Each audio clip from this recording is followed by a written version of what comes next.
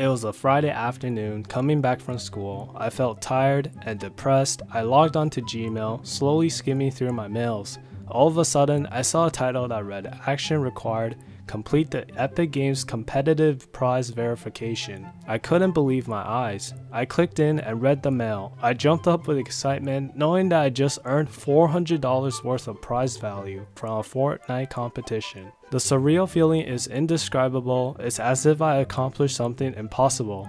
Even though it was just a free Fortnite cup, even though it was just an apple eating contest, I still felt impeccable. If you're constantly practicing for Fortnite tournaments, Results will come, but until then, keep grinding, little Timmy. One quick question for the people who are watching, do you think I should sell the prize or keep it?